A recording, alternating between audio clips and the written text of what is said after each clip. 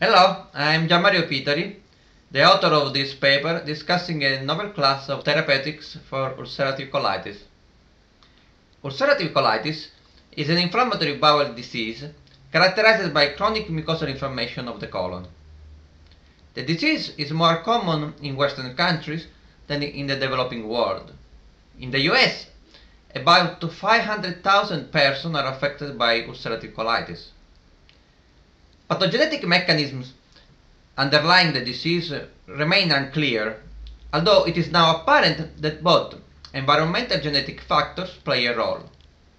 Specifically, the loss of the fine balance between bacteria colonizing our colon, epithelial barrier functions, and host immunity may result in chronic colonic inflammation.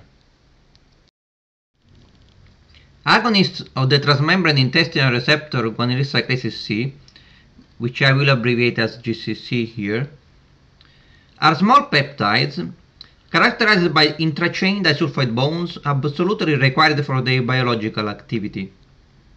They include endogenous hormones guanylin and uroguanylins regulating intestinal fluid balance and mucosal homeostasis, the bacterial enterotoxin ST, the most potent GCC ligand which mediates secondary diarrhea in geographic areas of poor sanitation, and synthetic drug linaclotide, plecanatide, and SP333, not shown in this cartoon.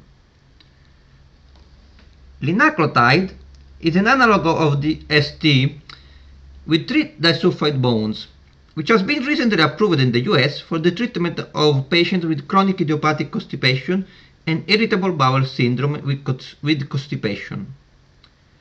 In contrast, plecanatide and SP333 are analog of the endogenous ligand uroguanylin. Plecanatide is in clinical development for the treatment of chronic idiopathic constipation and constipation predominant irritable bowel syndrome. Importantly, SP333 is being investigated specifically for the treatment of patients with ulcerative colitis and is still in preclinical development.